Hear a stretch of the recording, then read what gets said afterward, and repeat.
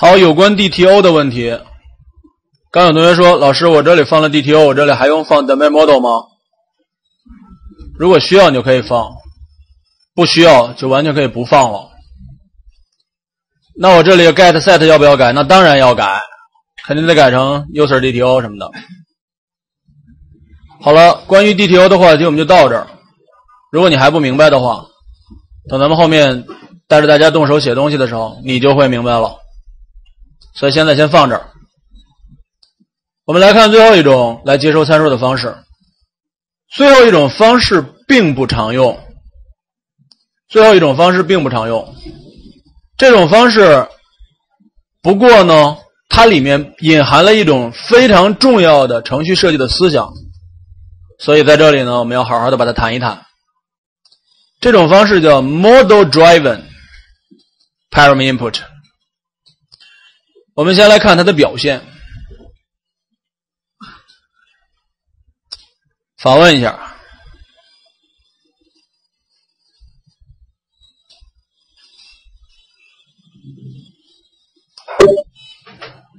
好，点一下。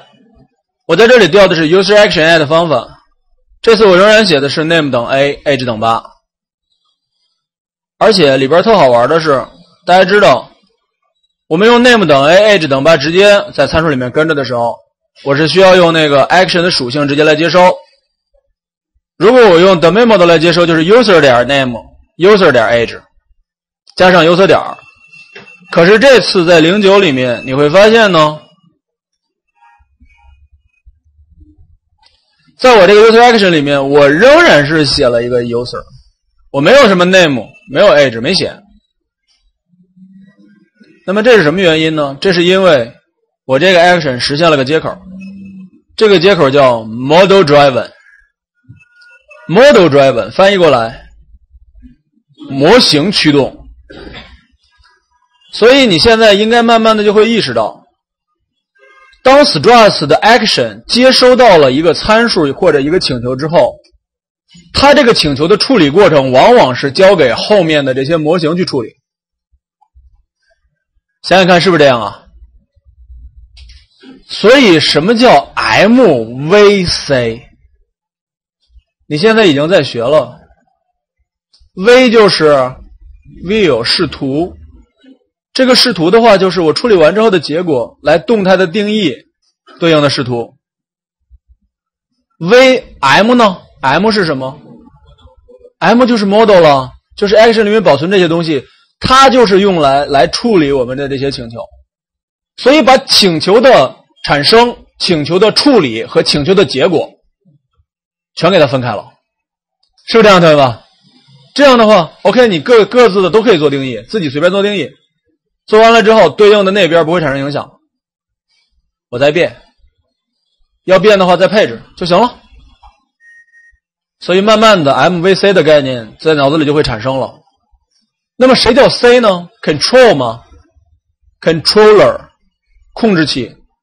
谁来控制我用哪个模型来处理？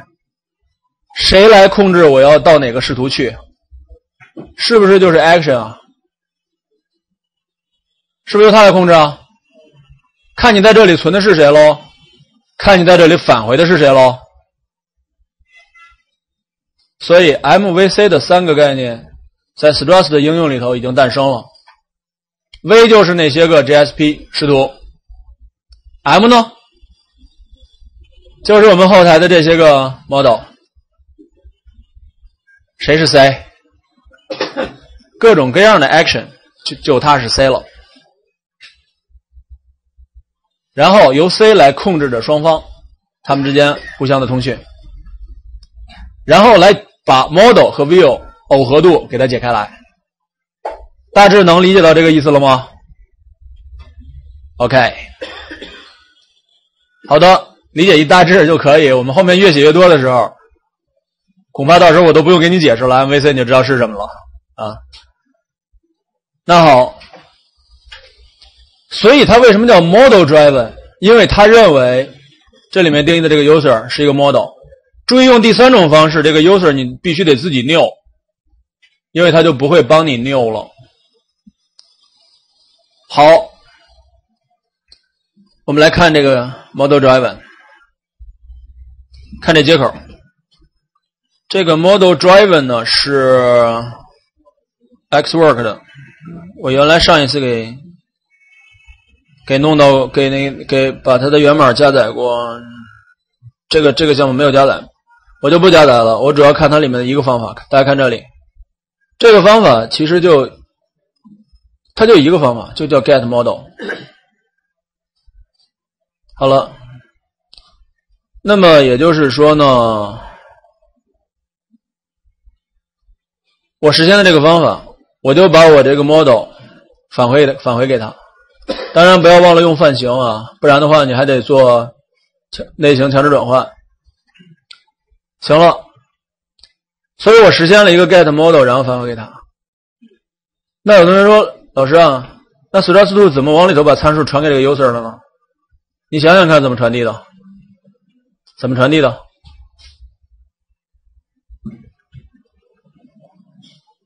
看这过程了，画一下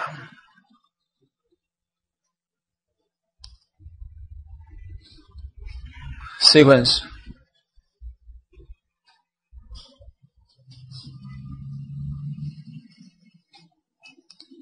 我叫它 model driver。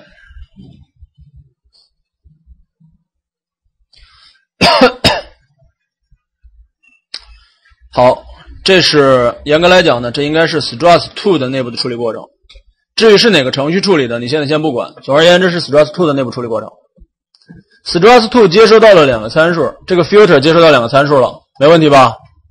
接收了两个参数之后呢，他就会去 new 那个 action。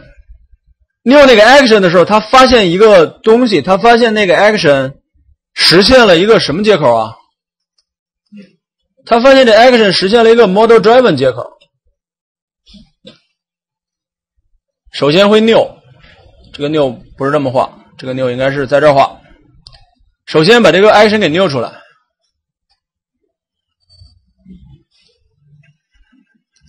，new。接下来他就会问，他说：“哦，原来你小子实现了 model driven 接口。”真正里面可能没这方法，我说的是过程。你实现了 model driven 接口，他说他实现了，他实现了就好说了。你说这时候会怎么办呀？你既然实现 model driven 接口，我是不是可以去调用你的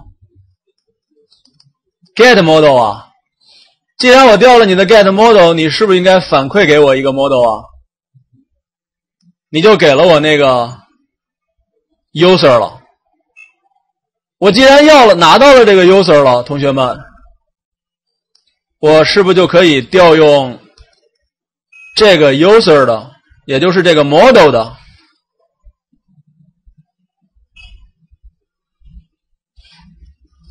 set name 方法了？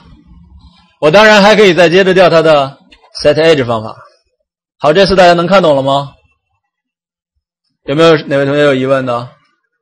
所以实现了 get 实现了 model driven 接口就有这个好处，就是它里面你具体是什么 model 它不管，它直接调你 get model，然后往里头设东西，搞定。好，这种方式并不常用，只不过通过这种方式，你就会知道原来 Struts2 它的这种 MVC 就是这个意思。那我问你。